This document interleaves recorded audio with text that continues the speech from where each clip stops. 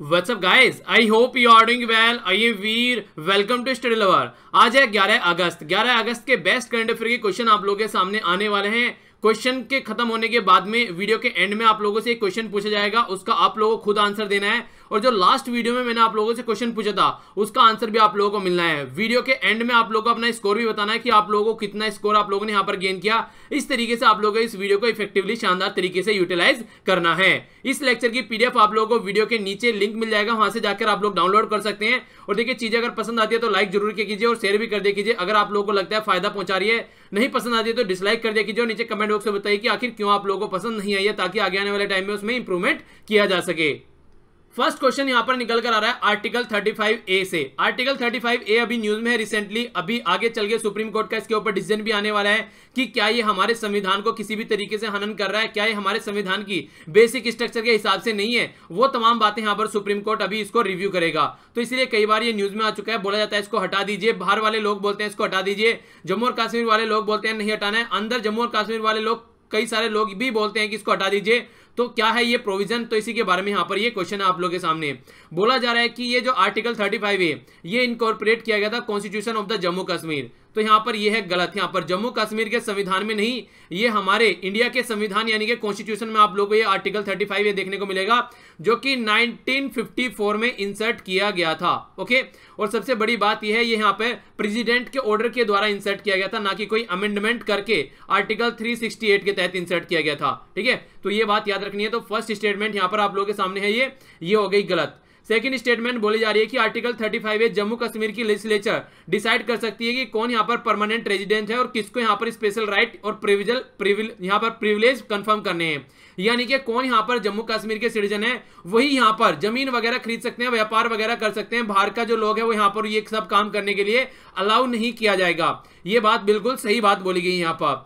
कोई भी एक्ट यहाँ पर जम्मू और कश्मीर लेजिस्लेचर का अंडर आर्टिकल 35 ए चैलेंज यहाँ पर अगर बात करिए मतलब अगर कोई भी एक्ट यहाँ पर बनाते हैं तो संविधान मतलब हमारे कॉन्स्टिट्यूशन जो इंडियन कॉन्स्टिट्यूशन है, उसके तहत उसको यहाँ पर चैलेंज नहीं किया जाएगा। यानी कि ये है एक स्पेशल प्रोविज़न देने वाला आर्टिकल यहाँ पर तो इसी के बारे में ये बात बोली जा रही है। ये बिल्कुल सही है स्पेशल प्रोविज़न दे जाता है और यहाँ पर ये नहीं माना जाएगा कि ये यहाँ पर कॉन्स्टिट्यूशन का वोलेशन कर रहा है, हमारे इंडियन कॉन्स्टिट्यूशन का, अगर इसके तहत यहाँ पर कोई काम किया जाता है जम्मू और कश्मीर के अंदर तो ये बात बोली गई है, ठीक है? तो यहाँ पर सेकंड स्टेटमेंट और थर्ड स्टेटमेंट तो हो गई सही और फ़र्स्ट स्टेटमेंट हो गई, यहाँ पर गलत। तो आंसर इस हिसाब से आप लोगों का सी हो गया। अगर आप लोग इसको डिटेल में और भी समझना चाहते हैं तो वीडियो का लिंक आप लोगों को नीचे मिल जाएगा डिस्क्रिप्शन बॉक्स में। जाकर कंप्लीट वीडियो आप लोग देखते हैं, क्या थर्टी फाइव है क्या प्रोविज़न है यहाँ पर क्या क्या इंपैक्ट पड़ेगा इसको हटाने से, कौन इसको हटाने के लिए बोला है, कौन नहीं बोल रहा है तो तमाम बातें आप लोग यहाँ पर देखने को मिलेंगी। तो आप लोग वो वीडियो जाकर देख सकते हैं। क्वेश्चन नंबर सेकंड देखते हैं। बात की जा रही है कि सब्जेक्ट जो है, जो फ्लड मैनेजमेंट, यानी कि बाढ़ को मैनेज करने वाला जो सब्जेक्ट है, जिसकी वजह से इरोजन भी देखने को मिलता है, और आसपास वाले एरिया में और कई सारी प्रॉब्लम देखने को मिलती है तो ये किस गवर्नमेंट के अंडर में आते हैं? सेंटर गवर्नमेंट, स्टेट गवर्नमेंट, या फिर जो सिक्योरिटी फ्लड वाला जो अलग डिपार्टमेंट होता है, वो या फिर अर्बन लोकल गवर्नमेंट? देखिए, होता क्या है, आप लोगों ने अभी देखा होगा, न्यूज़ में भी सुन रहे होंगे केरला गवर्नमेंट ने यहाँ पर अभी लगभग 21 से 22 जो डैम है वहाँ पर, उनको क्या किया है? उनका थोड़ा वो, उनके से, उनसे पानी जो है वो खोल दिया गया वहाँ पर। यानी कि नीचे वाले एरिया में पानी बहुत तेज़ी से बह रहा है, क्योंकि ये लग रहा था कि जो बाढ़ है इतनी तेज आने वाली है वहाँ पर, जो बाँध है वो टूट जाएँगे। मतलब पानी बहुत ज़्यादा बाद में बढ़ गया था, इसीलिए उनको खोल दिया गया है। तो ये सारा डिसीज़न जो भी होता है, फ्लड मैनेजमेंट करने का क्या पर्टिकुलर एरिया में होने वाला है वो वहाँ पर स्टेट गवर्नमेंट डिसाइड करती है।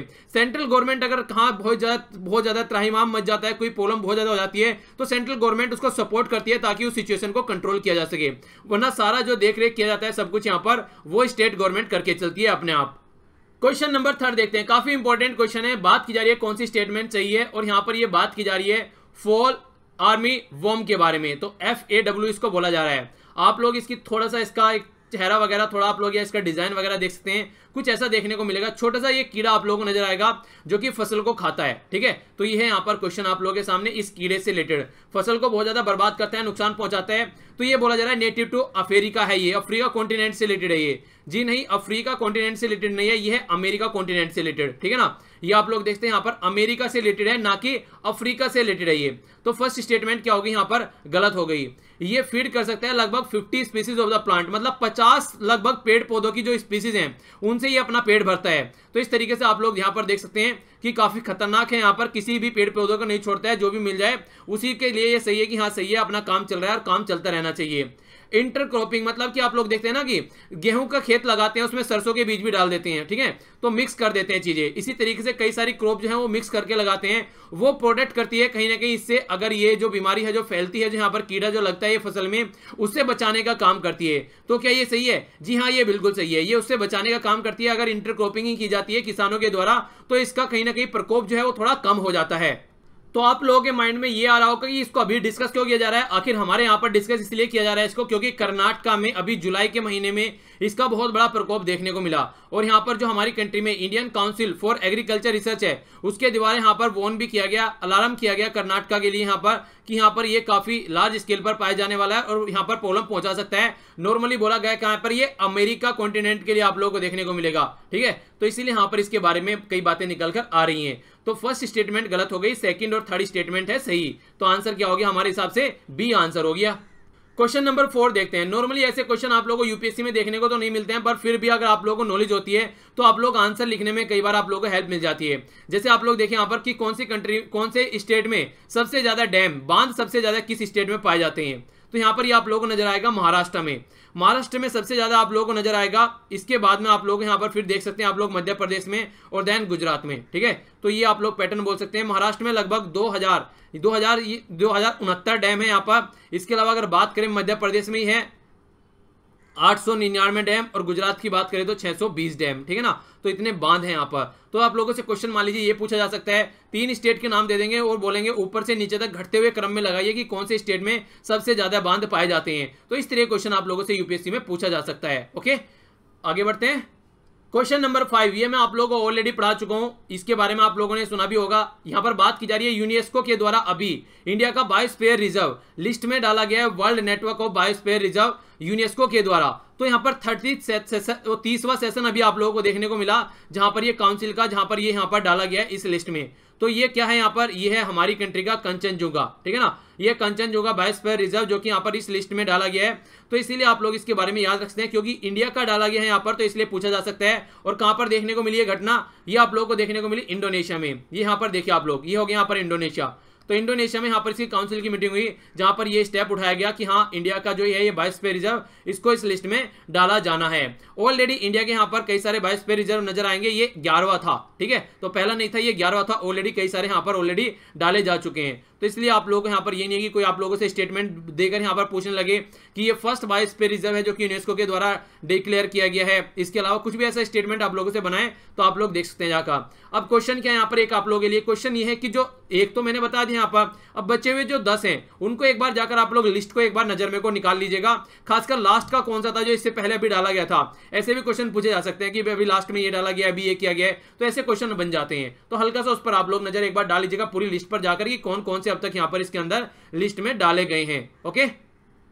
क्वेश्चन नंबर सिक्स यहाँ पर काफ़ी न्यूज़ में है तो आप लोगों से क्वेश्चन पूछा जा सकता है। सबसे पहले तो यहाँ पर है ये बरू ट्राइबल ठीक है ना? तो ये ट्राइबल लोग हैं यहाँ पर तो इनकी बात की जा रही है रिपेट्रिएशन की, यानी कि फिर से यहाँ पर उस स्टेट में भेजना जिसमें पहले रहा करते थे, ठीक है?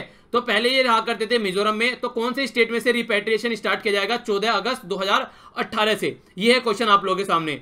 तो यहाँ पर स्टेट है त्रिपुरा त्रिपुरा से यहाँ से वापसी इनको भेजा जाएगा, जो कि यहाँ से पहले प्लान कर चुके थे कई सारे रीजन की वजह से यहाँ पर, और यहाँ पर इसीलिए यहाँ पर इनको फिर से उसी एरिया में भेजा जाएगा ताकि बैलेंस बना रहे, ठीक है? तो ये प्रोसीजर जो स्टार्ट किया जाएगा, ये किया जाएगा चौदह चौदह अगस्त से, ठीक है? तो इंपॉर्टेंट क्वेश्चन है, ये पूछा जा सकता है पर्टिकुलर ट्राइबल एरिया किस एरिया में पाए जाते हैं। तो कौन सा, किस एरिया से ये ट्राइबल जो कम्युनिटी है, ये रिलेटेड है? कुछ भी पूछा जा सकता है जैसे यहाँ पर पूछा गया कि कौन से स्टेट से, किस स्टेट में यहाँ पर इनको फिर से रिपेट्रिएट किया जाएगा। तो ये क्वेश्चन भी आप लोगों से पूछा जा सकता है। तो इंपॉर्टेंट है, थोड़ा सा हल्का सा आइडिया आप लोगों को रखना चाहिए। क्वेश्चन नंबर सेवन बात की जा रही है national national dam safety authority के बारे में एनडीएसए के बारे में। तो ये क्या होगा जो हमारी कंट्री में बाँध है डैम है उनको यहाँ पर सेव करने का यहाँ पर इसके तहत काम किया जाएगा जो कि डैम सेफ्टी बिल 2018 यहाँ पर अभी आया। तो इसी के बारे में ज़िक्र किया जा रहा है। एग्जामाइन करेगी क्या क्या मेजर कोजेज हैं जिसकी वजह से जो डैम है कई बार फेल हो जाते हैं। जी हाँ बिल्कुल सही बात बोली गई है। यहाँ पर, पर यहाँ पर जो इसकी परफॉर्मेंस देखने को मिलेगी यहाँ पर स्टेट डैम सेफ्टी ऑर्गेनाइजेशन जहाँ पर कि डैम जो एक्सटेंड किए जाते हैं टू और मोर स्टेट में तो देखने को मिलेगा कि किस तरीके से पर्टिकुलर एरिया एक, एक टेरिटरी से दूसरी टेरिटरी में जो डैम यहाँ पर रहते हैं उनको किस तरीके से यहाँ पर किस तरीके से परफॉर्म कर रहे हैं। मान लीजिए क्या होता है कि देखिए कई बार दो स्टेट के बीच में भी लड़ाई रहती है एक पर्टिकुलर डैम को लेकर तो वहाँ पर फिर प्रॉब्लम यह निकल के आती है कैसे उसको कंट्रोल करना है ओके तो जहाँ पर जो डैम है, जो बाँध है, वो एक से दो स्टेट के या इससे ज़्यादा स्टेट के अंडर में आता है, कोई पर्टिकुलर डैम तो उसके लिए यहाँ पर ये स्टेट डैम सेफ्टी ऑर्गेनाइजेशन बनाई जाएगी ताकि उसका कंट्रोल किया जा सके ढंग से। वरना एक बोलेगा, मेरे हिस्से में नहीं आता है, दूसरा बोलेगा, मेरे हिस्से में नहीं आता है। तो इस तरीके से कई बार बातें यहाँ पर देखने को मिलेगी कई बार बोल देते हैं कि मेरे हिस्से में आता है, सामने वाले के हिस्से में नहीं आता है। तो कोई लड़ाई नहीं देखने को मिले, इसलिए यहाँ पर इसको प्रपोज किया गया है। तो दोनों ही स्टेटमेंट यहाँ पर सही है किस तरीके से बाँध को यहाँ पर सही तरीके से रखा जा सकता है, पूरा फोकस उसके ऊपर रहेगा। ये क्वेश्चन आप लोगों को यहाँ पर मिक्स नज़र आएगा, थोड़ा हिस्ट्री का क्वेश्चन है और ये थोड़ा आप लोगों को देखने को मिलेगा। ये थोड़ा हिस्ट्री का और थोड़ा करंट का, क्योंकि अभी 8 अगस्त को आप लोगों को देखने को मिला महात्मा गांधी जी के यहाँ पर जो स्टार्ट किया गया था स्टार्ट किया था क्विट इंडिया मूवमेंट डू और डाई करके। तो उसके बारे में हम लोगों ने डिस्कस किया था, ठीक है? तो यहाँ पर बात की जा रही है कि चौदह जुलाई नाइनटीन में कांग्रेस वर्किंग कमेटी के द्वारा वर्धा यहाँ पर एक तरीके से डिसाइड किया गया था कि यहाँ पर जो ब्रिटिश जो ब्रिटिश रूल जो कर, रूल कर रहे थे हमारी कंट्री के ऊपर किस तरीके से उनको यहाँ पर भगाया जा सकता है। तो ये वर्धा में हुई थी कमेटी यहाँ पर ये डिसाइड किया था क्या ये बात सही बोली गई है?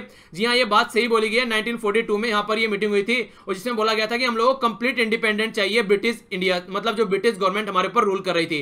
ये अब से पहले जो थे हम लोग यहाँ पर डोमिनियन स्टेटस मांगा करते थे। मतलब मतलब ये था कि हमारे ऊपर जो है यहाँ पर एक तरीके से नहीं डोमिनेंस है कि मतलब एक तरीके से आप लोग जो जो इंटरनल मैटर है। मतलब जो जो इंटरनल मैटर है वो तो हमको दे दीजिए, और जैसे कम्युनिकेशन डिफेंस वगैरह या फॉरन अफेयर वो आप लोग रख लीजिए। ऐसा स्टेटस मांगते थे।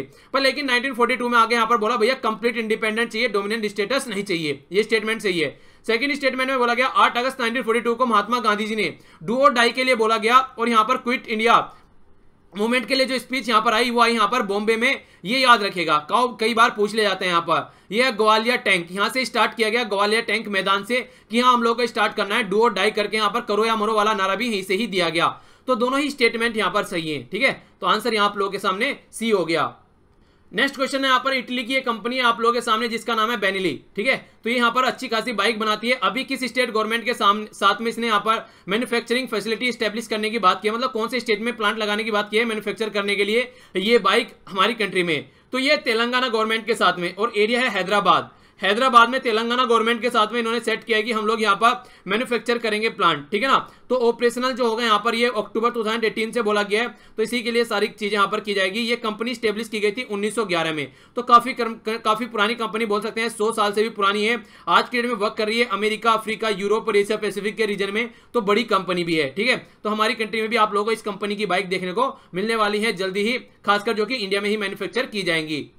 आज का क्वेश्चन है आप लोगों के सामने बात की जा रही है यहाँ पर एक्साइज पीस मिशन के बारे में। मल्टीनेशनल काउंटर टेरिस्ट एक्सरसाइज है यहाँ पर। ये यहाँ पर किसके अंडर फ्रेमवर्क के तहत यहाँ पर ये एक्सरसाइज आप लोगों को देखने को मिलती है। तो ये है क्वेश्चन जिसका आप लोगों को आंसर देना है। ये क्वेश्चन मैंने आप लोगों से लास्ट वीडियो में पूछा गया था कि किसको अपॉइंट किया गया यहाँ पर head of the mission and chief military observer for UN military observer group India and Pakistan तो इंडिया और पाकिस्तान के बॉर्डर पर जो कश्मीर वाले मुद्दे को लेकर यहाँ पर लड़ाई रहती है उसको ऑब्ज़र्व करने के लिए अभी किसको अपॉइंट किया गया है ये एक यूएन की ऑर्गेनाइजेशन है जो कि यहाँ पर देखरेख करती है ऑब्ज़र्व करती है कि क्या दोनों के बीच में रस्साखी चल रही है।